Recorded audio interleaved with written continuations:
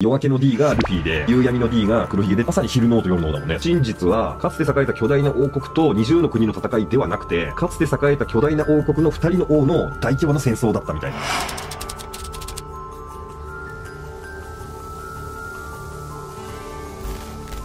ワンピースの正体に関して様々な考察がありますが、一つなぎの代表という表記に関しての考察がない気がします。もち先生の意見を聞かせてください。これ結構あるんじゃないの？一つなぎっていうのは人と人をつなぐ一つなぎとかね。ただこのワンピースに関しては、まあ、小田先生がどこまでどう仕掛けてるかがわかんないですけど、ロジャーの過去編で明らかになったのは、ロジャーたちが手に入れた宝、それらを全てを総称して、人々はそれをワンピースと呼んだみたいなのがあるるんで、これロジャーたちが名付けたわけじゃないことは確定してんだよね。誰が名付けたかなんだよね、もう明らかになってねえのが。モルガンズなのか、どこまで分かってるやつが名付けたかもわかんないんだよな。ロジャーたちの関係者とか、近しい人間がある程度意味を分かって、一つなぎの代表ってつけたのか、それを一つなぎの代表と人々は呼んだっていう、その下に、ロジャーのオーロジャクソン語があって、誰が話してるかわかんないけど、吹き出しがあって、何も知らねえで、母みたいな、なんか笑ってるセリフがあるんだよね。ということは、一つなぎの大秘宝っ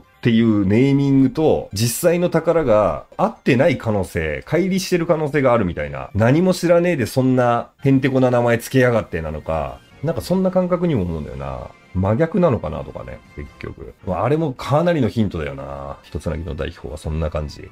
最新お疲れ様です。黒ひげについてなのですが、世界政府は奴隷や印象操作で他人の自由を奪う悪ですが、黒ひげは根本は自由は奪わず純粋な悪というイメージがあり、ルフィと黒ひげが自由とは何かを語ってる気がしています。ドラゴンの若い時の所属が自由軍ということもあり、自由が D の意志なのかなと。であれば、モコモコ王国のように、ある王国には自由思想のもとに二人の王がいた可能性もあるのかなと思いました。わー、そういう見方できるか。象のモコモコ国。あれが昼の王、夜の王があったんすけど、それがかつて栄えた巨大な王国を模しているとかね。いや、でもその可能性あるよね。だって、完全に関係性はあるからね。巨大な王国を模して、昼の王、夜の王っていうシステムにしているとかっていう可能性ね。で、夜明けと夕闇とかで言うと、ドーンとダスクみたいなさ、どっちも頭文字が D で、夜明けの D がルフィで、夕闇の D が黒ひげでっていう考察は私もしてるんですけど、まさに昼の王と夜の王だもんね。それで言ったらね。いや、暑いんじゃないですかね。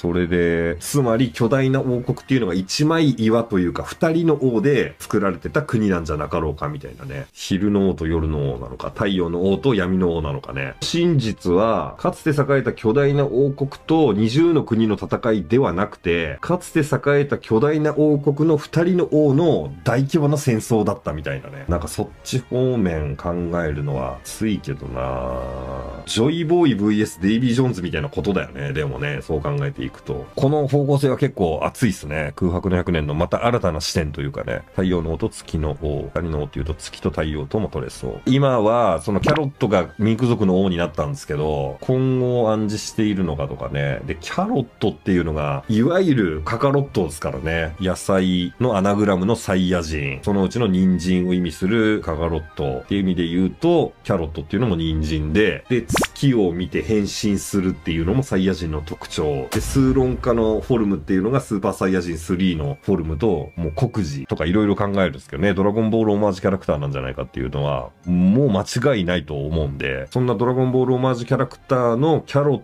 ト、悟空オマージュのキャロットがミンク族の王になっている意味みたいなね、この辺がどうなるのかと。800年前に世界政府を作った人間たちによって生態系ごと世界が再構築されたのが今の世界なのではと考えています。原住種のモデルとなるような伝承や古文書でのみ知られている空想上の生物が空白の100年までには実際に生存していたが全てをリセットされたねじ曲げられた勝者の世界が誕生したと妄想しております。つまり800年前世界政府を作った人間たちによって世界が再構築されたってことはつまりあのもう全く違う土地の感じだったり海の感じだったりもう全く違う状況で全く違う生物原住種とかもいるような例えば世界観だったののが、それを政府によって変えられてしまったレッドラインがあって、グランドラインがあって、カームベルトがあって、魚人たちは魚人島にいてっていう根本みたいなのが全部再構築されたっていうことか。800年前のところで。かなり壮大だなただまあ、レッドライン人工物説、グランドライン人工物説、その辺はかなり昔から王道ですよね。都合が良すぎると、政府にとって。政府にとって都合が良すぎる、プラス、その、ラフテルを目指す者にとっては都合が悪すぎる世界。だからこそ、人工物説。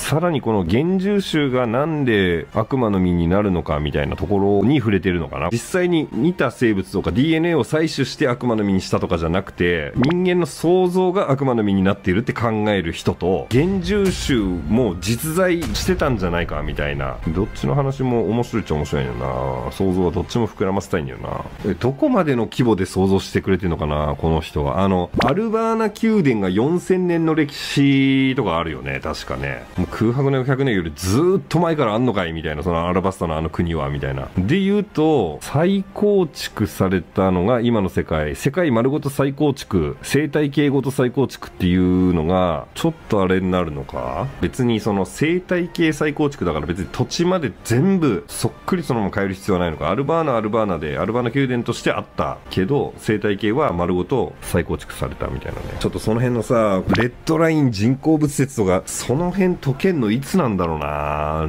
めちゃめちゃ壮大だけど、それどういう風に描くんだろう。もしさ、悪魔の実関連でレッドラインを作りました、グランドラインを作りました、時期のある島々を配置しました、みたいなさ、カームベルト作りましたとか、海洋類を生み出しましたみたいなさ、その超どでかい壮大な伏線をさ、回収するときってさ、その考察がある程度当たっててさ、どういう風に小田先生描くんだろうね。もう宇宙から見た地球みたいな感じで、レッドラインが作られてていく様を、なんか4コマ的に見せんのかな？こう、こう、こう みたいな。どういう風にその壮大さを表現するのかが気になるわ。壮大すぎて目が回る。